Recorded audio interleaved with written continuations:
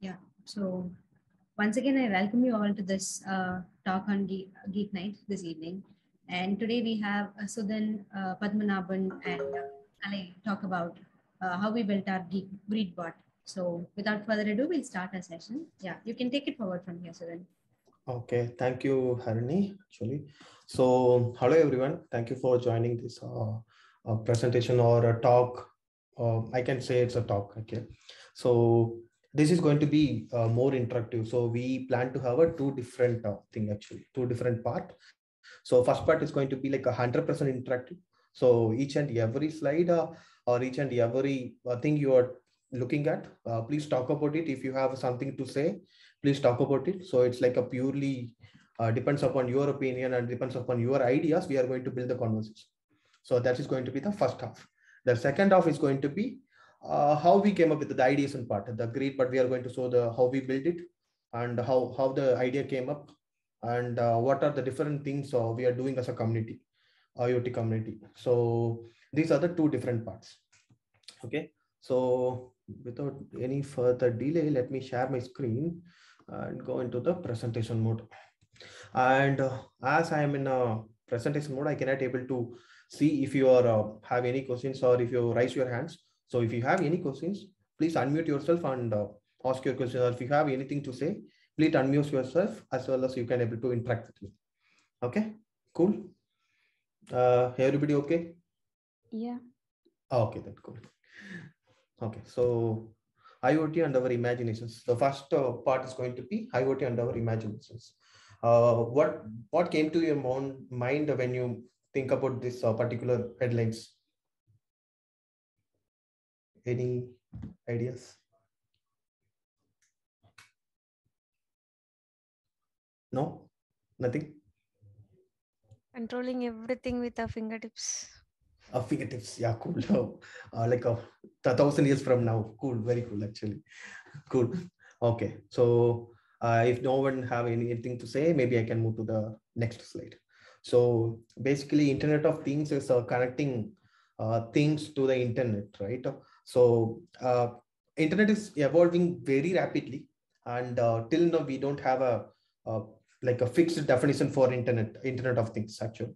So my definition is going to be when you can able to get the inputs from uh, non-living things, right? Uh, using some sensors, that is called, uh, and you can able to use this data to make some decisions, right? That is called Internet of Things, according to me, all right? So that is my definition. If you have uh, any other definition, or what do you think about whether everyone agrees with your definition, or do you have any other different opinion?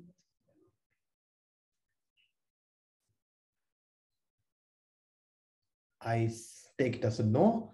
Okay, so why we need Internet of Things? Why we need IoT basically? So uh, what are what are the different things you can able to take it from the picture actually? Different uh, insights. Come on, guys. This is going to be purely interactive session, and if you are not going to talk, it's going to be very boring. Yeah, one place to control the many devices uh, like one place to control many devices uh, something else you can able to see uh, we can control from the different devices like smartphone tablet or computers mm-hmm, mm-hmm. yeah devices can Yeah. be control different things yeah that's a control uh, that's a can be control automated. Uh, okay that we don't dive, dive deep dive into that uh, Everything is Can- connected. everything is Ah. connected yeah one good thing actually so how many devices are connected actually from one modem, there are like Six. six devices connected. Five devices Yeah. to the internet.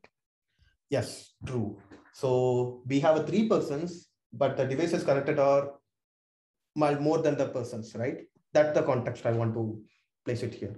So right now in our everybody and everyone's home we have a more number of devices that's actually connected to the internet right? So eventually we are letting a lot of data out. Of course we are letting a lot of data out. So that's uh, how can we make use of all these things? So to make use of all these data uh, we are letting out. We can able to uh, include some iot part. Uh, it depends upon uh, uh, the device right for example if your ac is connected to the your uh, uh, uh, your wi-fi you can able to control it through Alexa right now, right? Most of the ACs have that feature right now. So all these things are interconnected. Right now, the machines can able to talk to themselves without our involvement. That's true, right? So basically, I explained everything, uh, whatever we discussed, everything in uh, separate lines here. So these are the things. And in the next slide, uh, we are I, I will be posting some problem statements. Okay. So the idea is the IoT and our imagination is meaning that uh, we want to kick start uh, thinking in IoT perspective. So we face a lot of issues in our day-to-day life, as well as uh, both personal as well as professional life. But uh, all the ways of, are we thinking in the right way to solve the problem? So are we thinking in a better, so how are we thinking in a better way to solve the problem?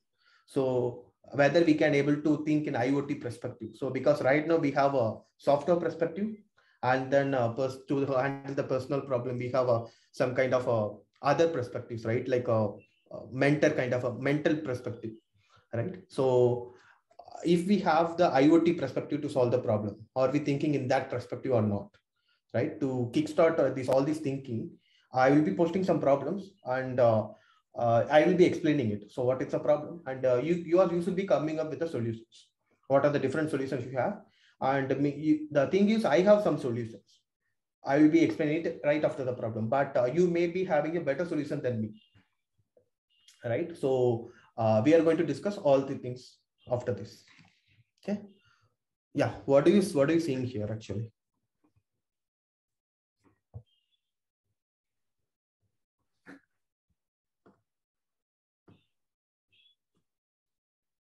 Uh, okay. Anybody? Uh, autumn season uh, with the, all the leaves fallen. Okay, autumn season with all the leaf fallen. So basically, it's a, a dry tree. We can say, right? Yeah. Okay, dry tree. So what this? What is the need for this? Okay, what is the need for this tree actually? Water, rain. Water, rain. True. So uh, whether uh, we can able to do something about it, the answer is correct actually. Water, uh, yeah, so much of water for a single tree, but uh, apologies, I can able, cannot able to find the better pictures. Okay, so how we are going to get this water to this particular tree? Right, uh, we because as we can, can able to see this so tree is in very remote place. Yeah, go on. Somebody's talking. Go on.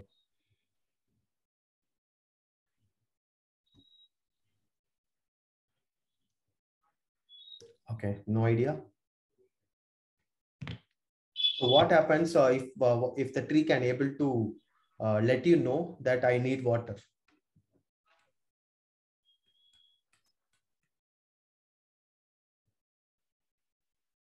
The, okay, so any other any other idea? Any other thinking? Nope. No. Okay, cool then. So let me explain uh, how it's going to be possible. So this is going to be the soil moisture sensor. So what this uh, sensor will do is this will uh, detect the uh, water content or uh, uh, moisture level in your soil and it will send out the data whether a particular level is reached or not, whether the particular, whether the, so whether the water is not there for a quite a period of time, like for, a, for the more than three days, if the water is not there. It's all thing we can able to programmable. Okay, these all these things can able to programmable and uh, uh, we have some kind of a router or uh, some kind of a motor where uh, there is a place between uh, your uh, actual water because it, it can be around 100 to 200 meters away from the water source right you can you don't want to water it every day you want to water it on particular some like in the period of three to four days right so to do all these things, we have this uh, soil moisture sensor and uh, depends upon the data we are getting from here, we can able to uh, like switch on the motor and switch off the motor to plant, uh, to water the whole plant. Right. Uh, but maybe somebody thinking this is kind, this is kind of over engineered for, uh, for the, for the normal water thing. think in the perspective where there is a like hundreds of trees, right, in a remote place you plant you planted hundreds of trees and uh, you cannot able to water it every day. Of course, uh, we are not, we don't have time for that right now. As we are in a very busy schedule, we don't have the time for this. So if we can implement something like this, yeah, the watering the tree is not going to be a burden. It's going to be automated and uh, every tree can able to get the water at the correct point in time and it will grow. So it will not depend on you anymore, right? Whether the tree need water or not, it will be decided by this sensor and uh, the water, the motor will be switched on automatically, depends upon the sensor. Of course, we can able to uh, switch off the motor, uh, depends upon the sensor, uh, sensor data again, right? Otherwise, we can able to think of like a particular time period, like uh, the motor will be switched on for uh, 20 minutes and then it should be switched off, something like that we can able to we that's all comes under the logic again we all very good at logic right? We can able to figure it out. The problem is uh, uh, we have to think in the perspective this thing can be able to doable this can can be able to doable or this thing can be able to automate it. Using different sensors as well as uh, uh, different hardware parts motors uh, servo motors other things right? So the final uh, output is going to be something like this. So it will be uh, pinched into the soil and depends upon the data, we can able to do a lot of things. Right. So yeah, go on. If you have any different perspective or any different, uh, if you want to challenge me, go on, no problem.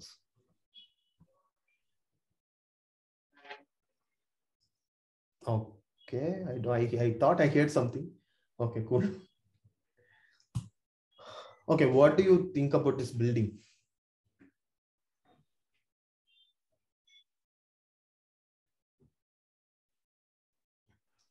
Okay, so a lot of resources used in it, that keeping the lot. up and running. yes, true, true. Uh, anything special about the sunlight? You can able to think of any solution depends upon that. Sunlight is producing a lot of heat, Yeah. so Are you expecting something like uh, utilizing solar power? Uh, that's one thing actually.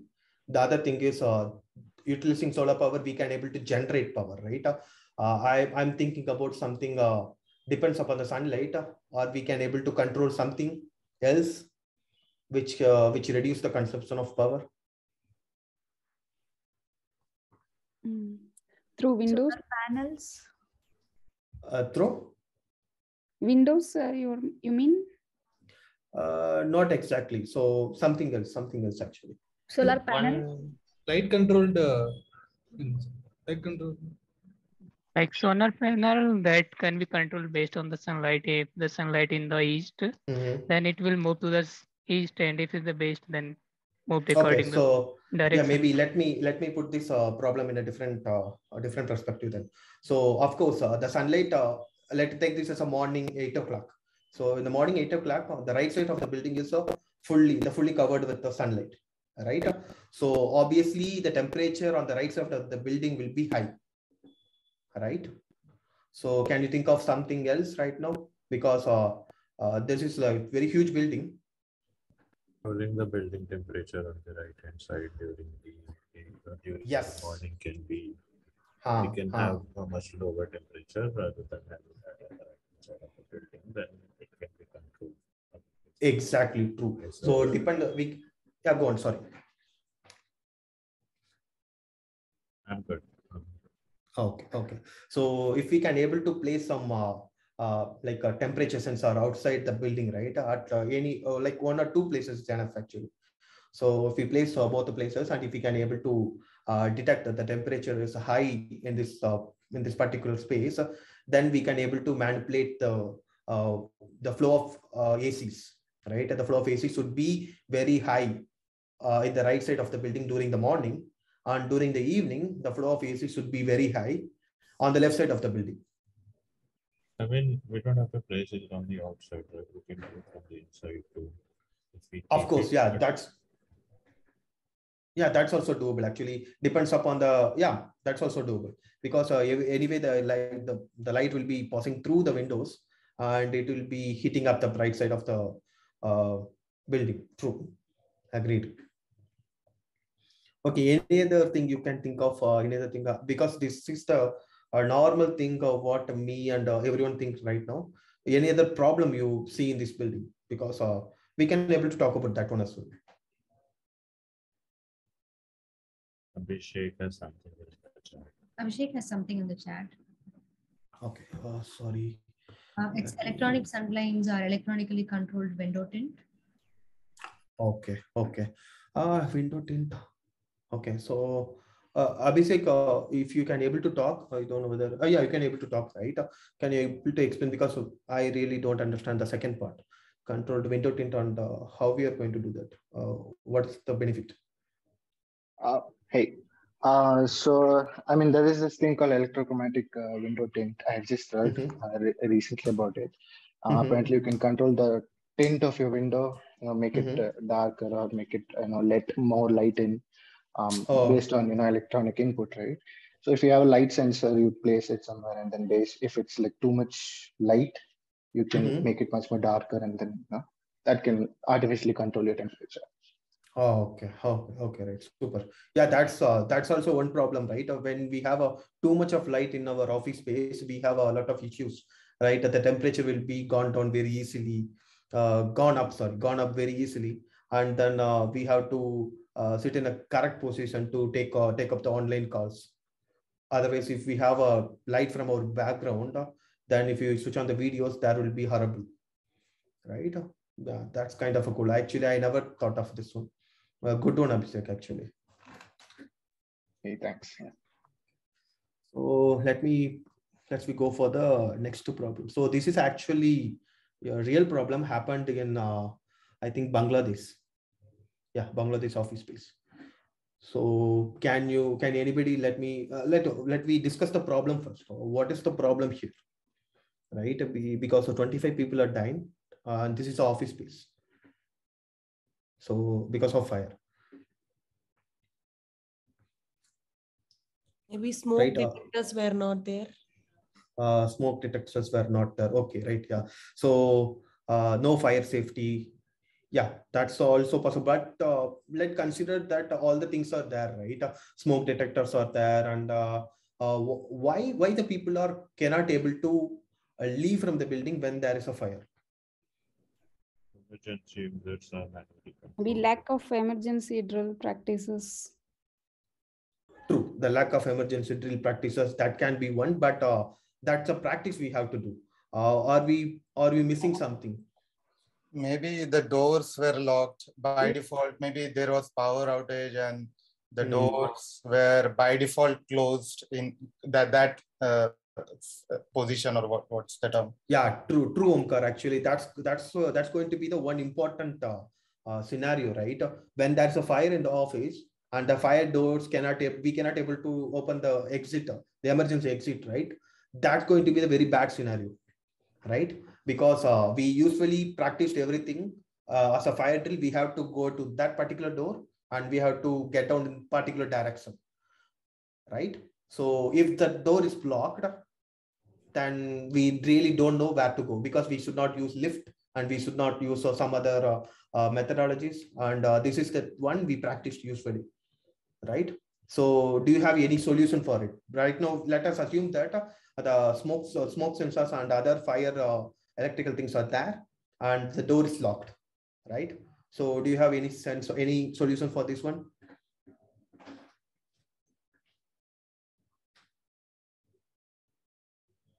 Anybody think of any kind of a solution? Yeah, so if the emergency doors are always openable from inside, Mhm. uh, so people will use it to go out only, right? Uh, not the other way. So if someone wants to escape, they can always manually do it. There is no uh, control, like whether there is electricity, power, and if- even if there is nothing, the default Mhm. state is uh, from inside it's always open. Okay, from inside it's always open. From the outside it should not be opened. So no people can able to come in through the Yeah. door, but Yeah. uh, everybody can able to go out through the through the door. Okay, so let me put the problem one uh, like a bit more. Uh, this is kind of a joke, but let me enhance the problem then. Uh, what happens if there is a fire in the exit door itself? Right, Uh, some kind of electricity things breaks out, uh, and there is a electric lines goes on uh, through the door, and uh, uh, you have the fire burning. The the door is burning. Hmm. Okay. More than one emergency exit options. Yes, true. Think in the perspective of uh, try to get solution in IoT perspective, right? Or try to get something should be automated or something should be uh, depends upon some incidents, some sensing thing, something should be happened. This kind of a thing. Like So send the alert to fire station so that we can get help. Okay, Nitin, you you have something, right? Uh, so uh, here if you see a lot of things is directly related to the power source, right? So rather than depending upon the whole like, your main source of electricity, why Hmm. don't we have something which is battery controlled or very particularly controlled by that? So it's fi- like fire like emergency exit thing. It's not going to take a lot of power, so Mhm. we just don't need a, a lot of direct electricity for it. I mean, to- I have a little bit knowledge in that. So currently we have devices which are, you know, definitely shifts and uh, IoT devices which flips to the battery resource as Mm, soon as the mm. power goes out. So yeah, we can try something that for the emergency exits itself. I mean, or the smoke detectors itself. Mhm. If that is the issue, whatever the issue can be, we can directly target that out using those. Okay, okay. Uh, something And from send- DK. Uh, uh, yeah, Yeah. sorry, sorry, Nitin, go. Sorry. Uh, nothing like uh, I think somebody did mention sending out the alert. So yeah, that is also very valid. Okay, okay.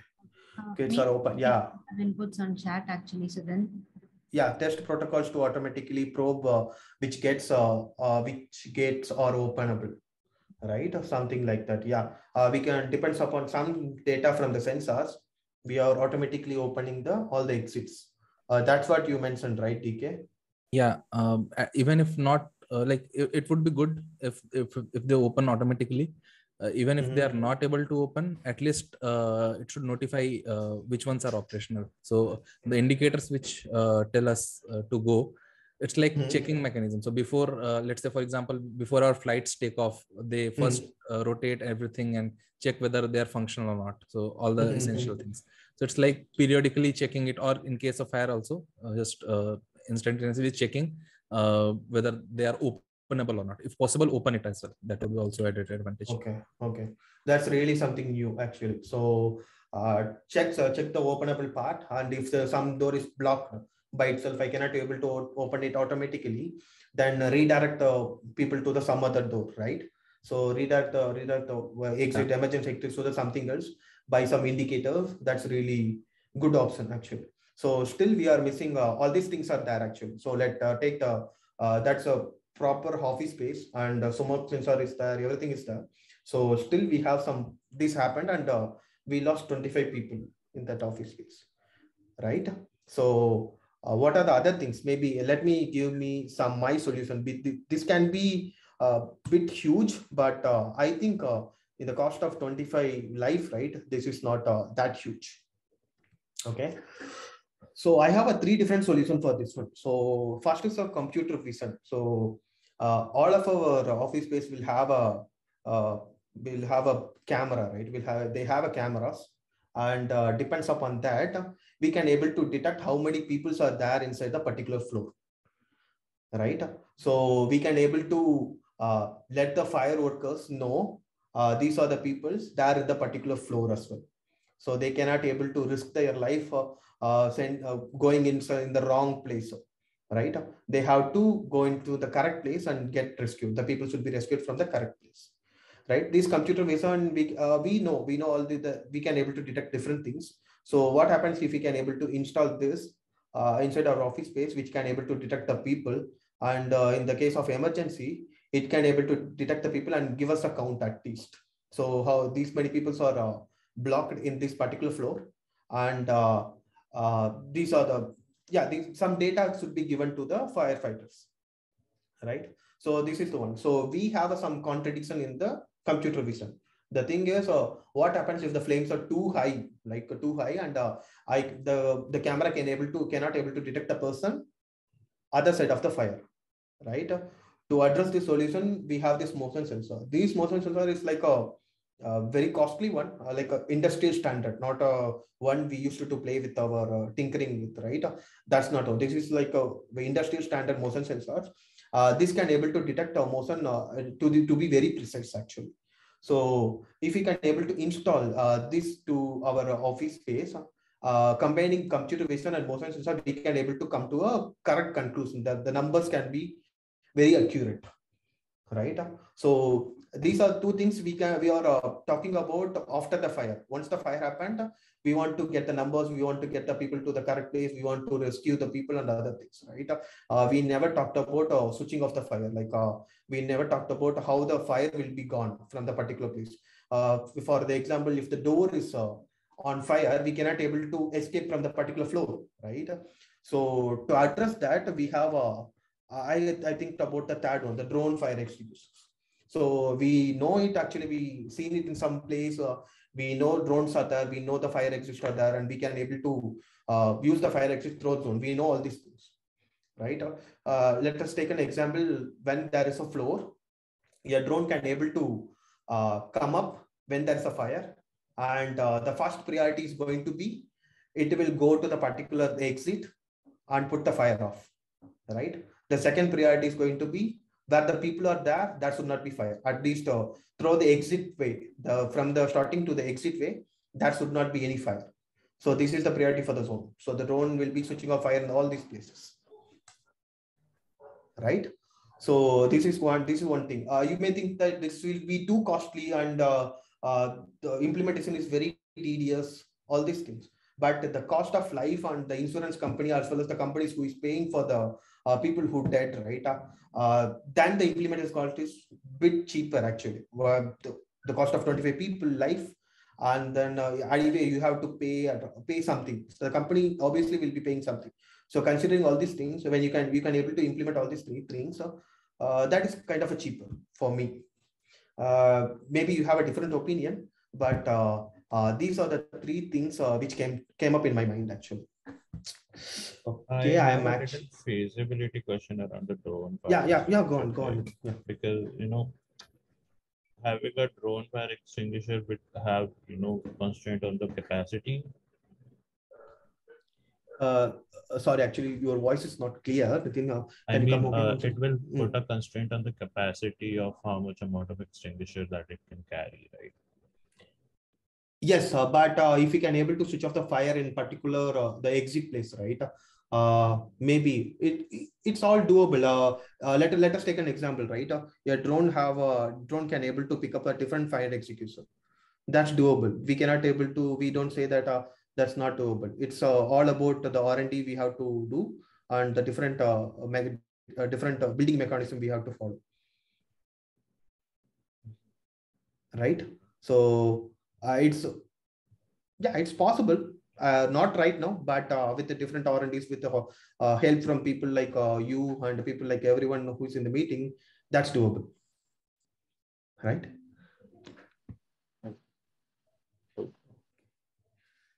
I'm already taking five minutes from the other people so let me go bit quicker in the next slide so extremely sorry for that. So the problem here is uh, uh, the illegal people are cutting off the trees uh, in a remote location and uh, uh, what, what is the solution what is the solution you can able to give for it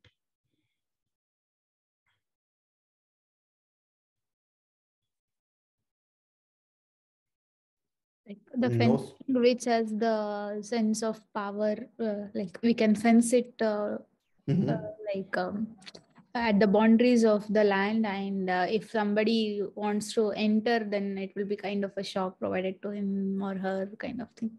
Okay come some kind of a shock. You want to okay cool. Yeah it will be like not uh, like a deadly one but uh, you can't just uh, hold it and uh, jump onto the land kind of thing. The fencing with the power. Uh, yeah yeah the, the okay the power fencing like uh, fencing with electricity right? Okay someone uh me miraj okay install gps chips in trees and monitor that uh, tree. Uh, won't be any moment any movements in the trees any movements in the trees actually. Um yeah that's good. But how uh, okay so i installed the gps and uh, the person chopped it up and there is a movement uh, in during the movement what we have to do we send some data, right? We have to transfer it somewhere to get something to be Done. Right, uh, Meeraj Kanap, Kanaprati, right? Kanaprati. Am I understanding your uh, inputs correctly or am I understanding it wrong? If trees are chopped up, then it has to be moved to next location. Okay, you want to catch the person who is uh, chopping the tree. Okay, so anyway, the trees are chopped. The problem I want to, the solution I want to give is uh, before chopping the tree, I want the people to be, uh, do I want to do something, not after the Ah. chopping because, oh, yeah. Yeah, we can install uh, some cameras uh, and uh, based on some therm the thermal detection, we can Mhm. detect uh, humans and uh, if we detect any human uh, sign, we can send Mhm. some alert to control station or something like that. Okay, super, uh, super Rajeswari. Actually, the that's good actually. And one problem here is uh, it's it's in a remote place. Uh, let us take uh, the forest, uh, uh, the remote forest where we barely have network connection, right? Uh, it's very bad to have a internet connection during that place. All these places, right? I uh, where devices cannot connect to internet. I mean, maybe they can connect through Bluetooth, right? Uh, Bluetooth ranges are uh, very little, right? We cannot able to. hmm. Radio waves or uh, triggering alarm. True. Ah, ah, ah, radio waves, radio waves. Now you now everyone thinking in the perspective, right? Uh, We are thinking for now there is a constraint that that's in the remote place. So uh okay, so what happened? Uh, the, this actually they have a ready-made solution. Ready-made solution since they already uh solutionize it and uh, they are using it right now. Uh, not in a radio wave format, but in a, telephone signal format. Okay, so maybe I can uh, give you the hints. Okay, so sorry, I missed this slide. Okay, we have to inform to the uh, forest department, obviously. Uh, install a camera and uh, train ML algorithm to observe standing trees and okay, okay. So what they did actually, give me a second. Let me play it. This is for uh, uh, Hani, is it okay if we can able to extend like a five to 10 minutes, right? Uh, yeah, you can. That should not be. a- Okay, okay then, thank you.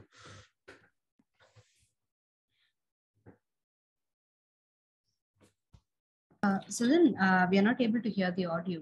Okay, extremely sorry. Let me share it on once again with the. Uh, we actually practiced to do this, but we I forgot. Sorry. In San Francisco, USA, we found a You can able to hear, right? Yes. Okay.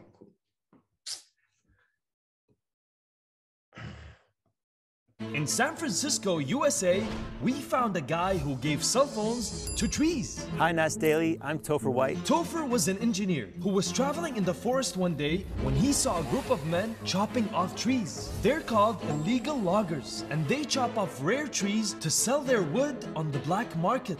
But when he went to alert the police, they said they already knew about these loggers and had a tough time catching them. Because the forest is so loud, they could never hear them chopping down trees. So he thought, why not build a device that'll let the trees call for help like a cell phone? Him and his team, Rainforest Connections, started taking old phones and tweaked them so they would automatically alert the police whenever there were chainsaw sounds. He would put these phones on top of trees in weatherproof boxes. The forests can't protect themselves, but at least now, thanks to Topher's cell phones, they can just call us up whenever they need our help. That's one minute. See you tomorrow.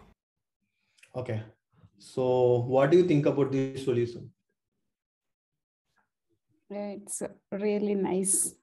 Really nice. Very Okay. I have questions. So I mean, Yeah. they're kind of using the um, you know, uh, noise as a receptor, I guess, right? Mhm, mhm. So that particular kind of noise, they're probably capturing the wavelength, or True. Yeah, we can or able me- to. Measuring Yeah. it in dB. I don't know how they like. Of course, it's not explanatory that much, but uh, let's assume there is some natural calamity and that is kind of producing the same level of dB noise. What does that? Mhm. How would you differentiate? Okay, Yeah. so there is a kind of a storm inside the forest and too much of rain over there. And if the chopping is going on that particular time, how we are going to do that, right? That's question. Let's say there are animals running, producing the Okay. same amount of noise. I mean, Okay. a very. Logger doesn't produce a very high uh, dB noise, right? Somebody Yes, said sir. false positive for that. Yeah. Okay, so let us, uh, okay, let me give me some example what I, I can able to think of immediately. So uh, we have this chain, the saw chain sound, right? Uh, what happened if we, I can able to collect uh, 10 to 20 different uh, saw chains. And uh, when I hear, when I can, when the sense, when I can able to sense the similar sound, I just match it with all these 10 sounds right i i don't know whether this is going to be uh, possible or this is this is uh, we have some other uh, some other things can able to do but this is thing i can able to immediately think of uh, for your uh, question actually Nitin. Okay, so I mean that is kind of depend depending on the you know particular amplitude wavelength that has been produced by the saw chain and you know. Uh yeah true. The uh, because this is going to be the chains are made up of uh, steels right? But uh, uh, when the two when animals are running it's uh, it's between the earth and the legs of the animals. The sound may be varying but uh, depends upon the frequencies mostly actually. Okay okay. Uh, i know nitin is not uh, uh, not convinced but uh, yeah it's it's okay not to convince because then people can able to uh, go and think in a different perspective right? Uh, we are kicking starting the different ideas actually. Sorry. And this is the last and final problem. That's it. I I will be finishing very soon. Okay. So this is a, a cable car. Actually happened last year in italy uh, where uh, people like 12 people are died and only one survivor which is a five year old boy right? So uh, the main problem is the cable as well as the brake is uh, uh, man it's not uh, good. It's actually it's broke the cable as well as the brake. So what do you think uh, what do you think is an immediate solution for this one? If you have anything anything similar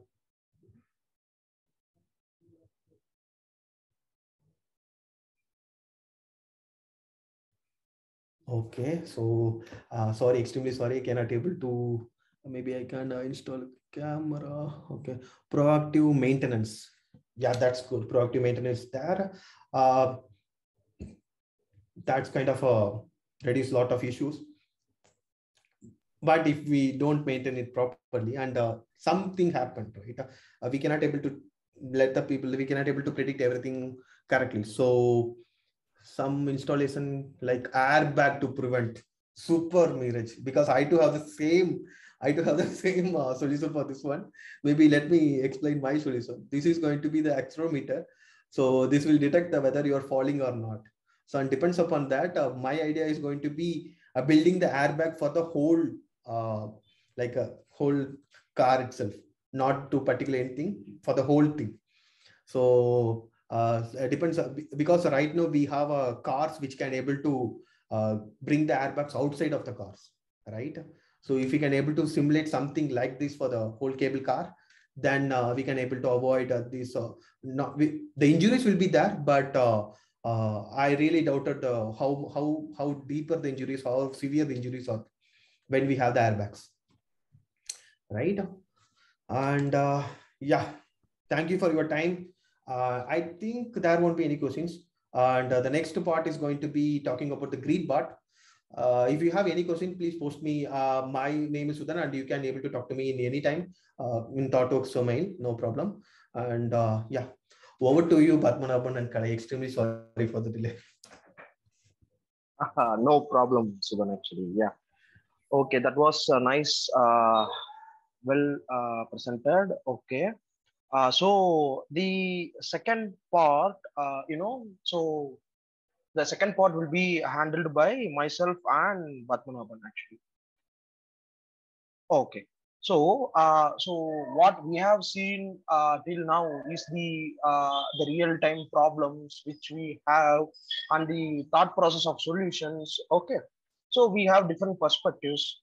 So Okay, so we as a company, as a community, uh, being at a position to provide solutions, so we wanted to uh, convert them into this imagination into action Actually.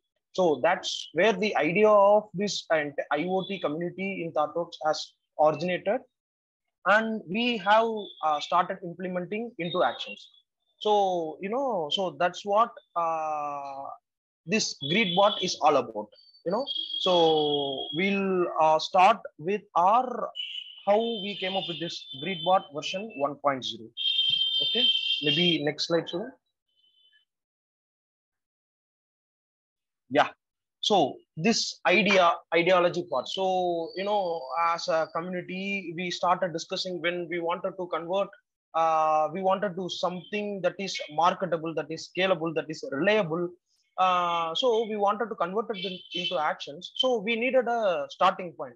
Since you know we uh, all people does not have a great expertise uh, a detailed uh, r&d uh, knowledge on this iot part so we wanted to start from very scratch actually. So that's where the idea of Greet uh, uh, pitched in. So we have many products. We, we, we have discussed about many products that are that that is very uh, highly performable. Uh, but you know we wanted to uh, very start uh, from the very scratch actually. So that's the first part of this ideation.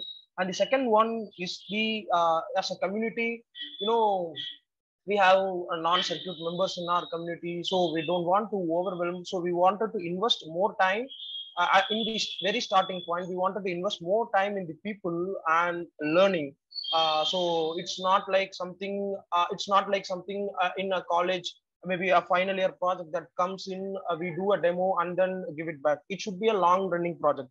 So we wanted to invest more time in the uh, people and learning. And another thing was why Greet Bot so it can be some other thing which can provide the above two ideologies.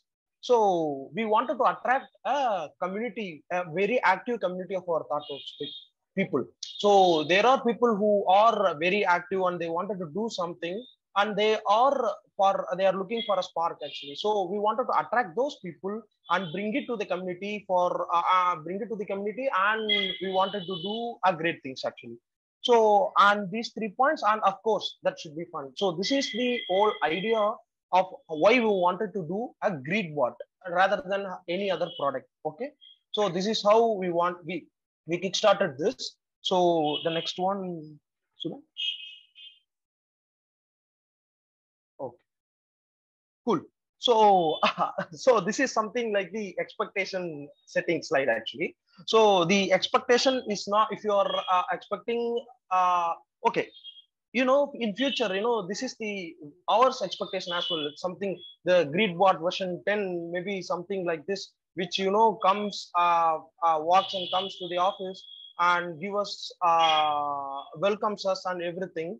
So what we at version 1.0 has done okay uh, you can see that actually. Before moving into the uh, how part you can see the what part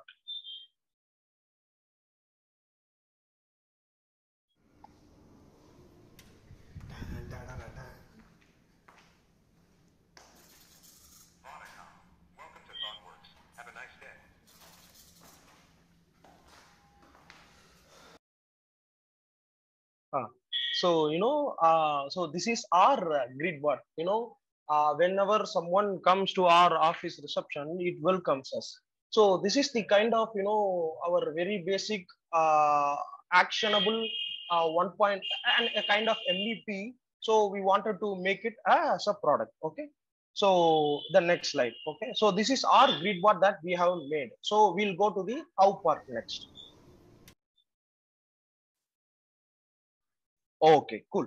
So next comes the uh, interesting part. Okay, so we have decided some, okay, we have decided something. Okay, we are going to build a Greet Bot. So what are the things that has to be done? So the brainstorming part comes in. So the first part is to detect the motion of a people. You know, so that's the first uh, input part and a speaker, of course, and something that waves the hands. So these are the three business use cases that we have decided. So one is uh, to accept, uh, uh, to detect a person. And the second one is to greet a person with an action and then voice. So these are the business use cases that we have found. So to sense that, okay, to sense that we have come up uh, with, uh, as I earlier, as I said, we invested more time in researching. It's not um, we pick up a sensor and do it today and we face some issues. So it's not like uh, we have done everything uh, 100% a solution but we wanted to uh, make it uh, 100% uh, certain that we are doing something uh, a reliable one okay? So we discussed with uh, there was an another option of infrared sensors actually. Uh, maybe a PIR sensors so we had a discussion on which sensor to go and we come up with the uh, ultrasonic sensor. Okay i will before moving into that maybe if uh, someone uh, is uh, new to the iot community so i will basically uh, say the difference between an ultrasonic sensor and an uh, ir sensor. So what is this ultrasonic sensor is going to do is it is going to emit a sound waves via a via a port and it is going to receive a, uh, the waves that is going to be generated by this ultrasonic sensor is going to be hit to an object and then comes back to the sensor actually. So the distance, the time taken of these waves is calculated and this, this is how this ultrasonic sensor works. And a similar way, the same principle, the IR sensors, what it is going to do is uh, it is going to use the IR energy. Okay, so after I research, you know, after this uh, infrared rays, uh, it has some uh, obstacle factors.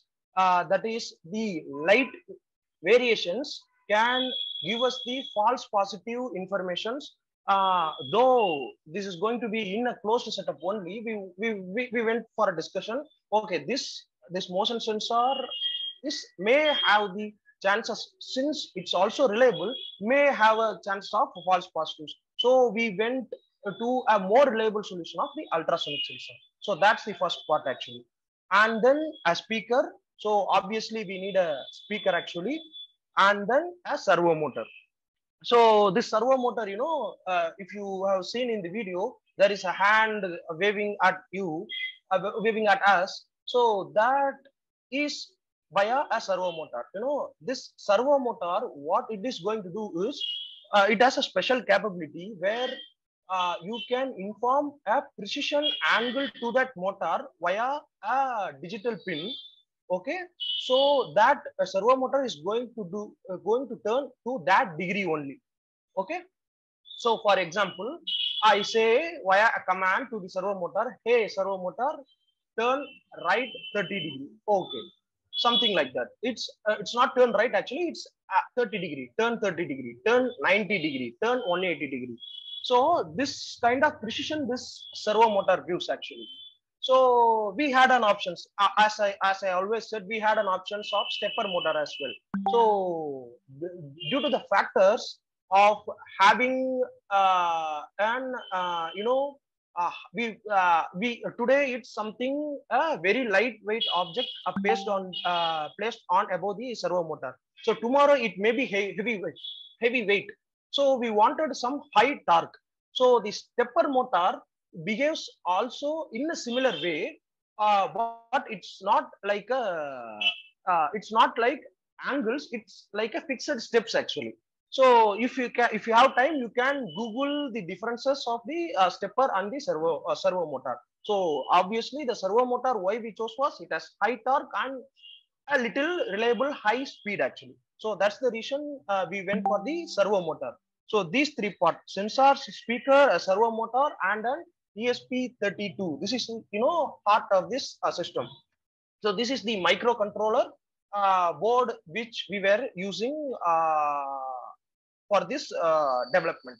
So this ESP32, you know, uh, this is uh, something, okay, if someone is already uh, known uh, into IoT community, you would have known about uh, Arduino Uno boards.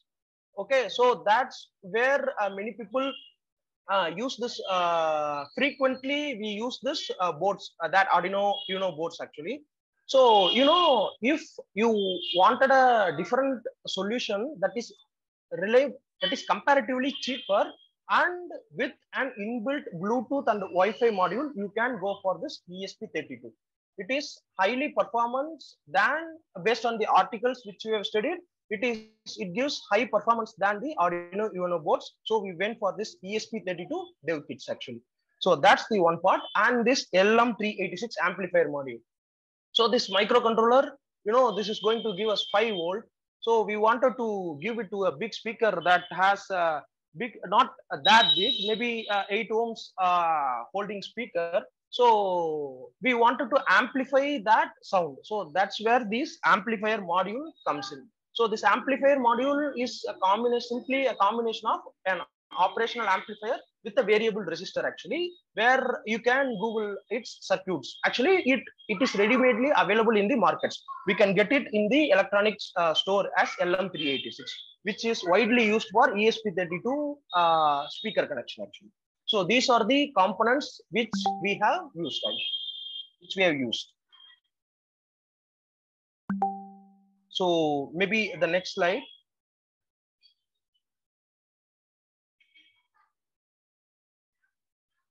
Okay.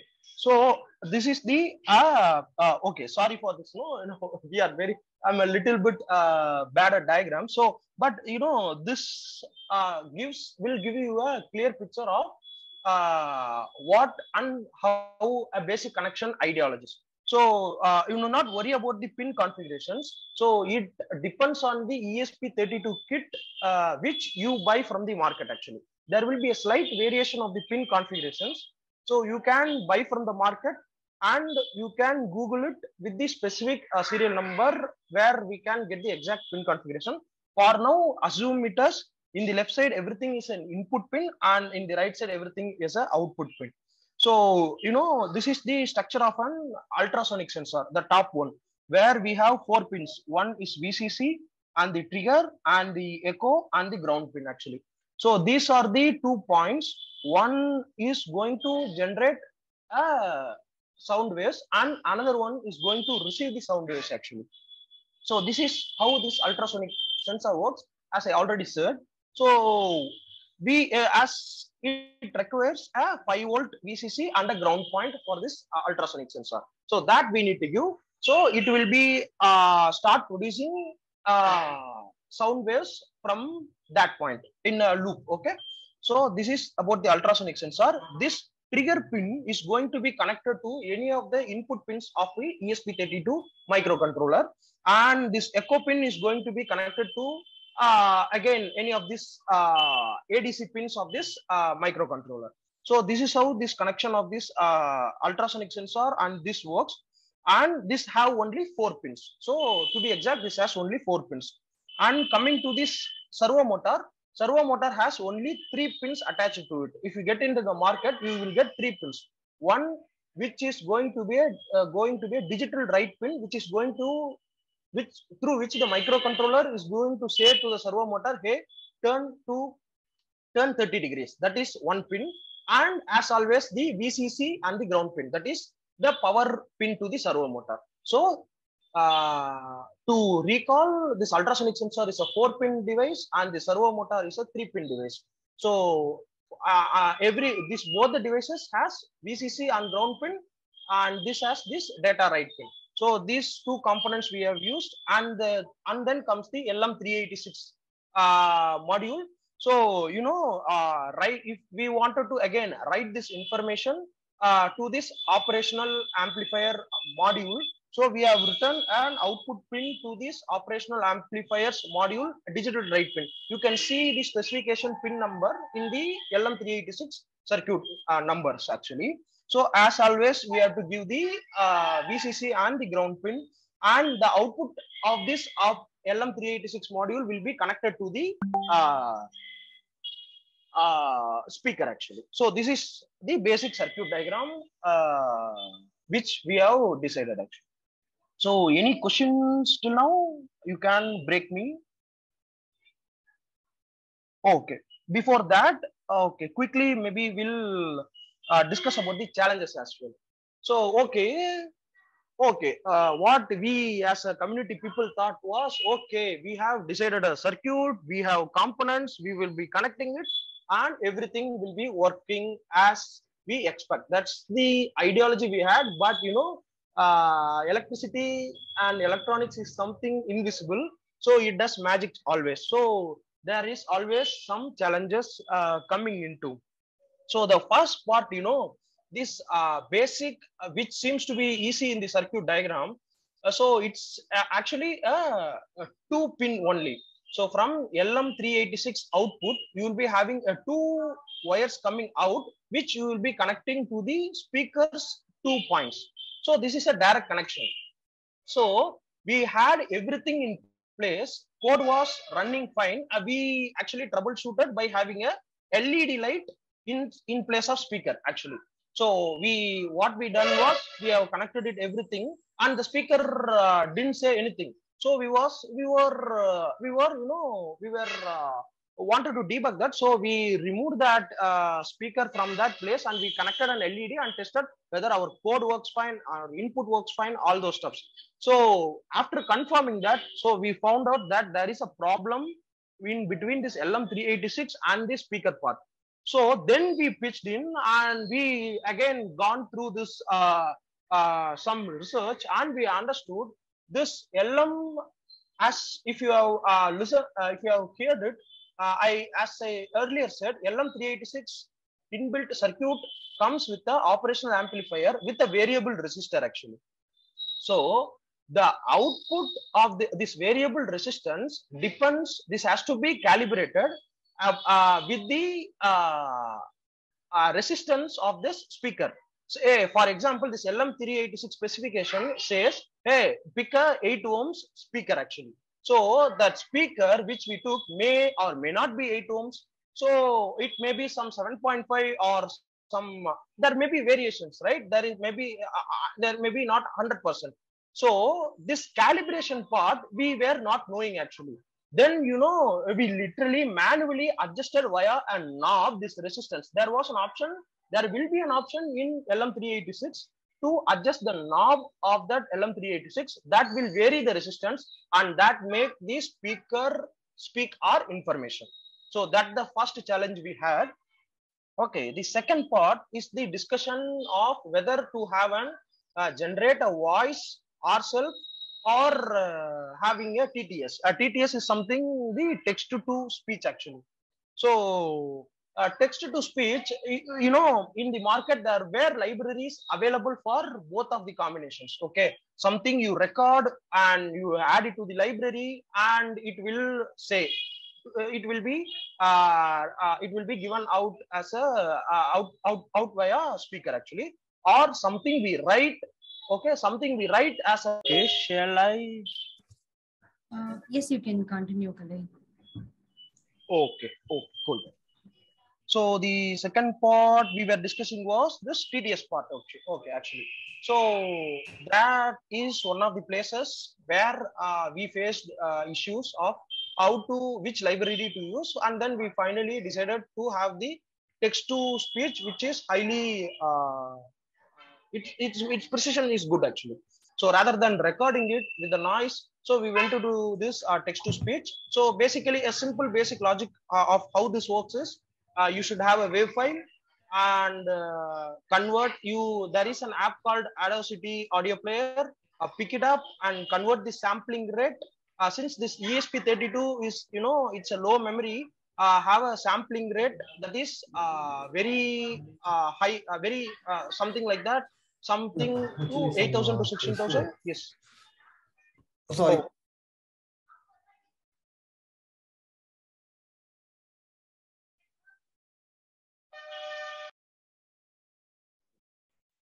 Um, I think Kalai, you can continue. Uh, that was some background noise. Yeah.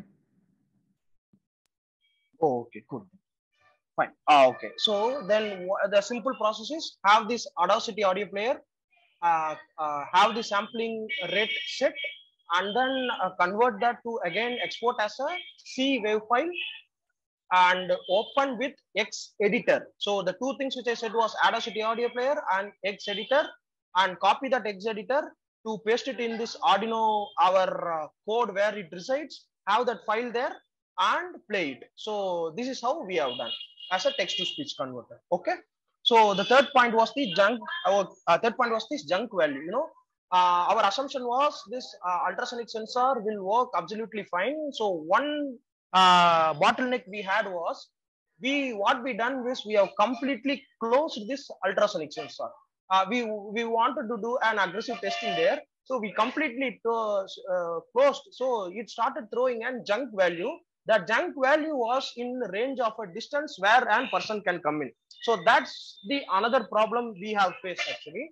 So we have added in that uh, as of now with the uh, in the code level actually. So that junk values we have to take care. And the fourth part was okay, we have this bigger circuit board. Uh, how to package them into a product? Where to place this? Where to have the speaker? Where to have this? Uh, uh, so since we are not that good uh, expert at design, so we okay we had a challenges at the packaging part as well. So, and the fourth point we, where everyone will face was the pin configuration. If you start uh, buying an ESP32, you should look for the specifications and then, uh, uh, sorry, the pin exact pin number and then go for the pin configurations actually.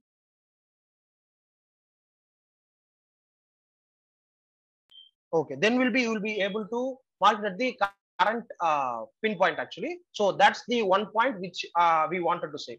So if you buy, if you buy, if you are buying a ESP32 or any module, check the exact uh, product number, uh, product number spin configuration. That will uh, eliminate this challenge which we have faced actually. So these are some of the challenges we have faced while setting up actually.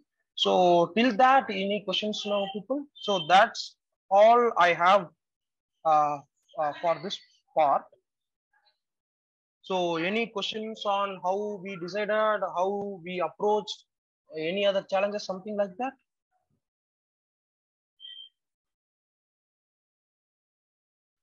Okay, okay, okay. Maybe at the end of the session. Okay, I will take. I'm taking the snow.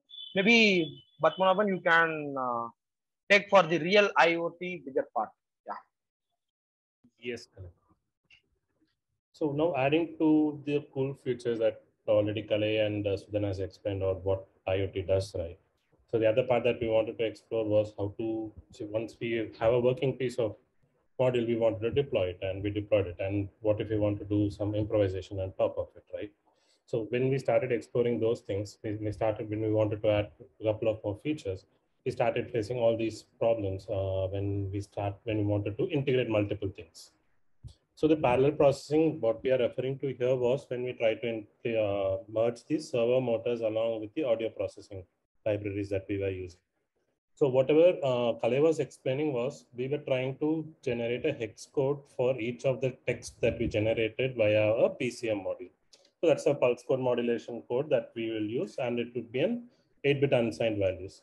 So all those text, whatever we are referring to will get converted into hex codes and the duration to complete a audio file will be um, will vary based on the text that we are giving and during that time frame the handshake also had to happen so when we wanted to process uh, two uh, when we wanted to process uh, two threads on a same on a single core that was a challenge for us when we wanted to do it so even though the ESP32 is, is a dual core processor and it is capable of running two separate threads on two different cores, this was a very simple and a relatively easier task to be accomplished. So that was one of the challenge that we faced. And the limitation of an ultrasonic sensor.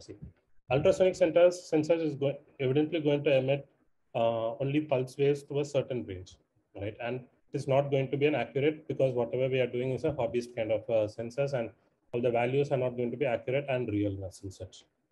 So that was one of the things that we started facing with an ultrasonic sensors.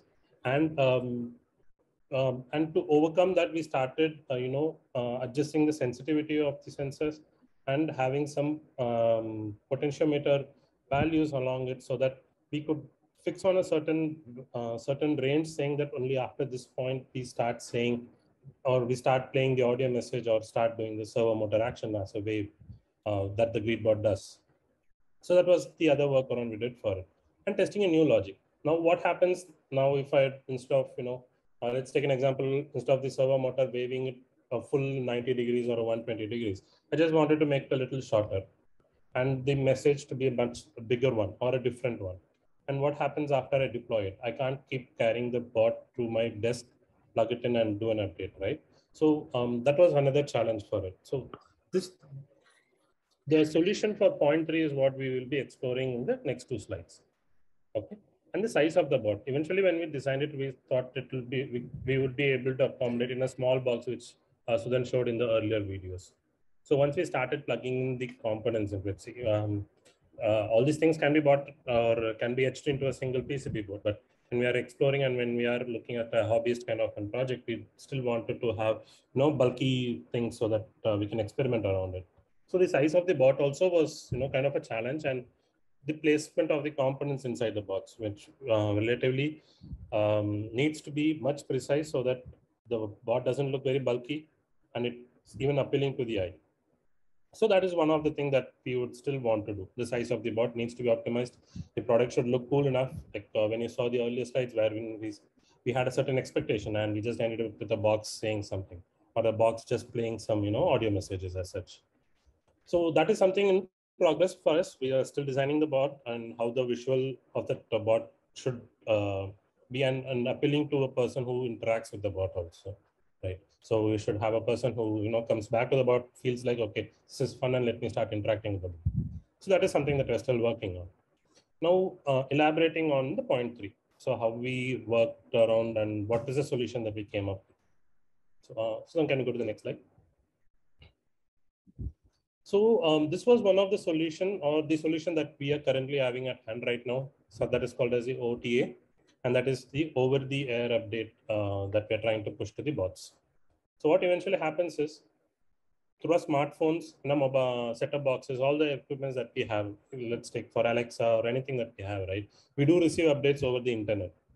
The, even though the bots are physically placed or the devices are physically purchased by consumers, the companies are still able to push their updates over a, uh, over a wireless interface, and still your device works as as if it has got a new update you, you really didn't have to plug it into any of the networks without any cables as such, but still you were able to, um, you know, get the updates and all the cool features that the company wants to push it to.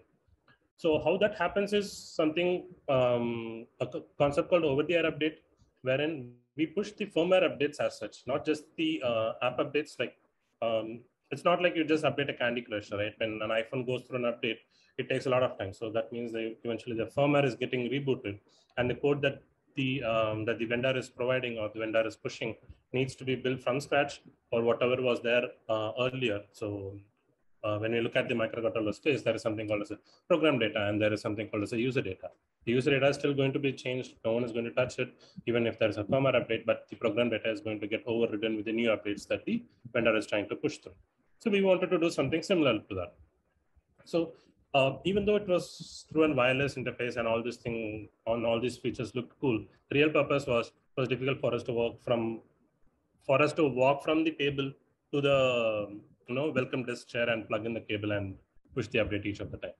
So one laziness left to exploring something else. And yes, we do have an OT update for this bot, wherein we are remotely able to push firmware updates as well as uh, file updates through the bot anywhere over the internet and still it is not exposed outside but yeah over a network it can be achieved and it is still working in the same way only uh, can you go to the next slide so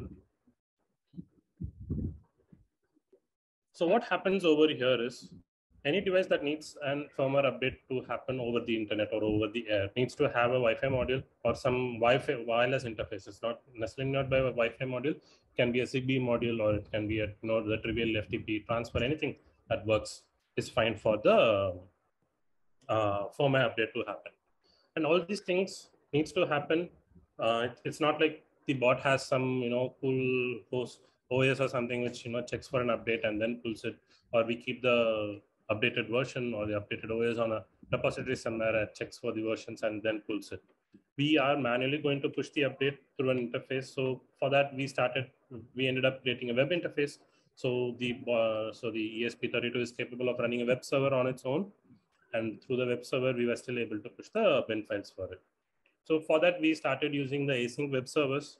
So that was much literally quicker and uh, it was more reliable when it was trying to register with the network and you know trying to give us this interface. Was more reliable. And yes, we did achieve that. And we are now uploading the codes to the bot from a, in, a, in a remote fashion only. We're no longer connecting the uh, our devices, the development kit or our laptops as such to the bot to you know push each of the updates as. And this is a rough view of how the UI looks. So with the web interface and you know um, the format, uh, the binary files to be updated. This is how the UI looks, and we do have an option to update the um, firmware alone. I mean to say the program space, the program data alone to be updated, or in a file system wherein you just want to, you know, uh, replace a certain JSON from where the, um, uh, but you, you, if you really want to change the greeting message for the bot, just need to push an updated JSON and it starts reading it. It starts converting the text to a audio and starts saying that as such. So um, the, the third point that we faced, we were able to close it with this kind of an uh, setup that is over there update. And uh, for the future thing, uh, then the next slide. So as a part of the next, next step that we are planning to do is, you know, um, officially syncing some calendars so that when a person comes in and, you know, um, interacts with the bot, we tell them, okay, what is there in the calendar for the day or like uh, or any public events that is happening that's there in their calendar or in a publicly shared calendar we can sync it up with the calendar and tell them like okay we have a geek, uh, geek night session tonight at six o'clock or something like that. And the second part that we are planning to do is a face detection thing wherein it detects that okay that uh, really a person has come. Currently you just currently with the ultrasonic sensor alone you can just you know dis disturb the signal and you know mock it like a physically a person has come but ne that necessarily not be an actual person. So now the next part would be to integrate a face detection part. Um, face recognition is something that we are still, you know, um, having a, quite a lot of heated debates on that, whether we want to do uh, face recognition or not. But face detection is something that we haven't planned for the next version of this work. Uh, next slide, seven. Yes, so this is how our board currently looks at in the office and you know it has been a companion for our uh, security who you know tends to play with this bot also when he's bored in his desk. So and for the Greet Bot 10 version we do have certain things planned for it and as and when we implement it we'll be releasing an updates along the line. Um, that's it i have from my end. Um, Sudhan, i think we are done. So you have any questions about the greetbot or uh, anything in particular, we can discuss it. Uh, for now, uh, really extremely sorry for uh, too much of extra time. And uh, yeah, I think it's worth it actually. Okay. Any other questions or anything you want to discuss right now? Anybody? No? Is there any starter kit uh, like you said that EP32? EP30, yeah yeah but that is chip itself is not enough right you need some wires you need some leds and all those things is there any starter kit which comes with the bundle uh, bundle, yeah, there are the uh, ready-made starter kits available in Amazon as well with the ESP32. Uh, that comes with a different sensor, like a five to seven different sensors uh, with uh, jumper wires and all those things. Uh, but it depends upon the use case, right? If you want to tinker uh, about the different sensors and if you want to kickstart with the landing, that's good. That's enough actually. So if you have uh, some use case or if you have some problems to solve, then we have we have to go for a different uh, set of uh, uh like like the concentrated one. So what are the different sensors? Uh, the particular sensor we have to use. Why we need to use it? Okay. What are the different uh, pros and cons of the particular sensor? Are there any alternative sensor for that one?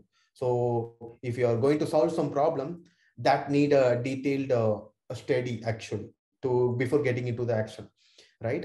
But if you want to tinker with a different thing, I think uh, the Amazon uh, proper uh, ESP32 development kit is enough. Oh, okay, thank you. Uh, maybe uh, to add, uh, if you're starting from very basic, you know, almost all ESP32 development kit, uh, kit comes with the inbuilt LED actually. So you mm. can test that LED part. So you can, it's good to go with an ESP32 actually. Yeah.